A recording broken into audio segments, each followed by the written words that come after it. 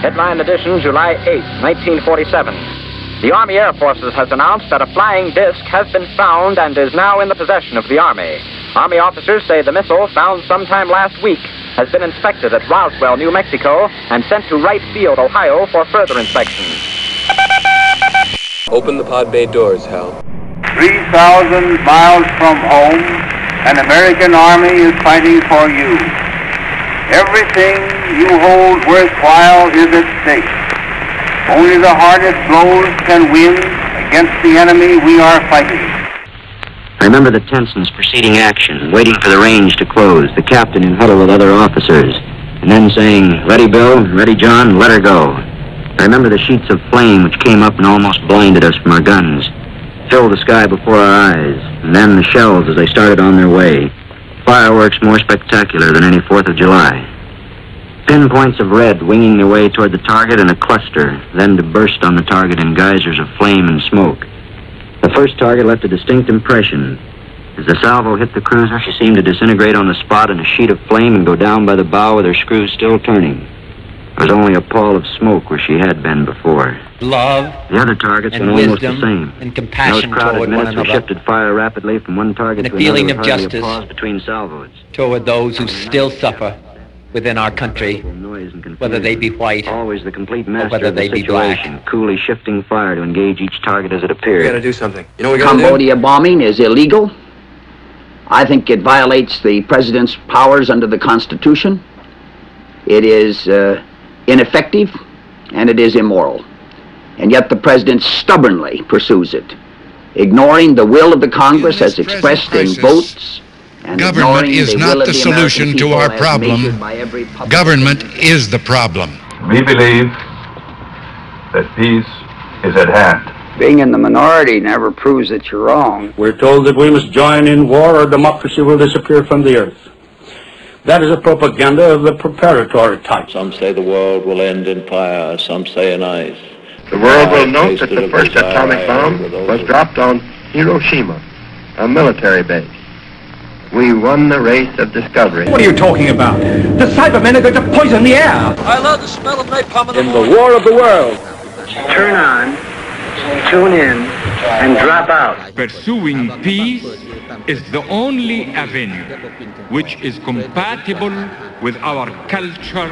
I'm sorry, Dave. I'm afraid I can't do that. There that. be no more wars or Vietnam bloodshed was between Arabs mistake. and Israelis. Television is more popular than Jesus.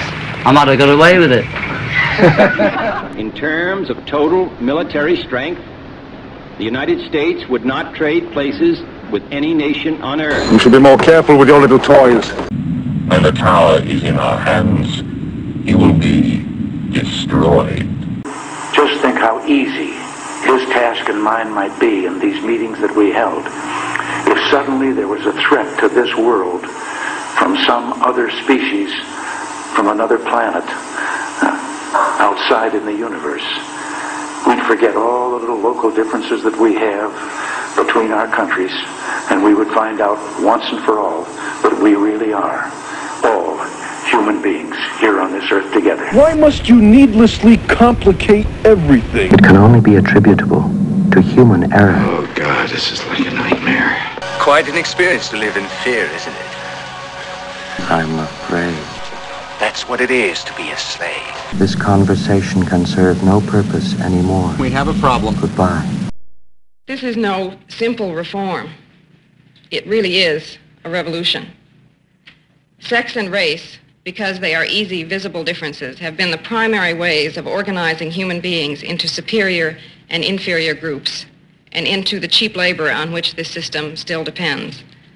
We are talking about a society in which there will be no roles other than those chosen or those earned. We are really talking about humanism. We believe that all men are created equal, yet many are denied equal treatment. Laughed. Few people cried. Most people were silent. I remembered the line from the Hindu scripture, the Bhagavad Gita.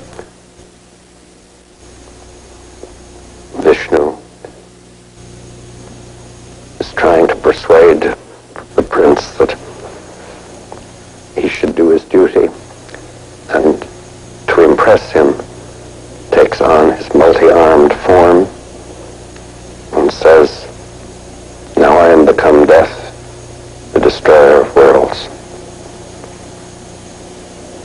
I suppose we all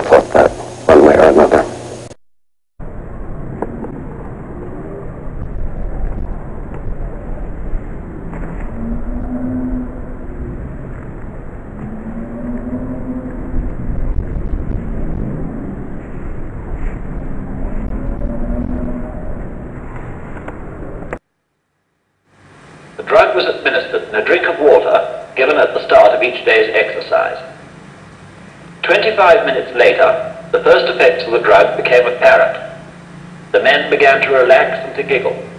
But this man was more seriously affected and had to be removed from the exercise. After 35 minutes, one of the radio operators had become incapable of using his set, and the efficiency of the rocket launcher team was also very impaired. Ten minutes later, the attacking section had lost all sense of urgency. Notice the bunching and indecision as they enter a wood occupied by the enemy. Almost immediately, the section commander tried to use a map to find the location of troop headquarters, and a prisoner's escort had to have the way pointed out to him, although it was in plain sight 700 yards away over open country. Fifty minutes after taking the drug, radio communication had become difficult, if not impossible, but the men are still capable sustained physical effort. However, constructive action was still attempted by those retaining a sense of responsibility in spite of physical symptoms. But one hour and ten minutes after taking the drug, with one man climbing a tree to feed the birds, the troop commander gave up, admitting that he could no longer control himself or his men. He himself then relapsed into laughter.